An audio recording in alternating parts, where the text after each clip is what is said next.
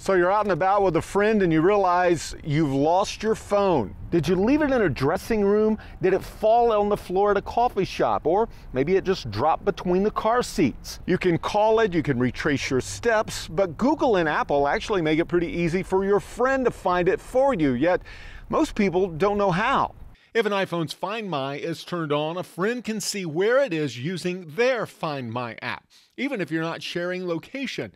Just open the Find My app on their phone, and at the bottom you'll see Help a Friend. Enter the Apple ID and password associated with the lost device. It will show up on a map on the friend's phone, showing precisely where it is. If it's at a large store or someplace like a ballpark, they can actually zoom in on the location. They can also have it make a sound. If you fear it's been stolen, they can put it in lost mode, which lets you search for it or erase everything. But if you erase the phone, keep in mind it won't show up on a map when you search.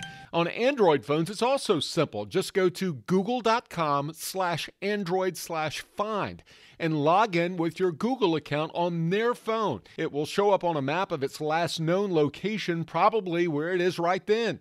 You can play a sound on the phone, even if it's set to silent, and display a message asking that whoever picks it up to give you a call. You'll find the phone quickly, save some heartache, and enough time to buy your friend lunch. That's what the tech. I'm Jamey Tucker.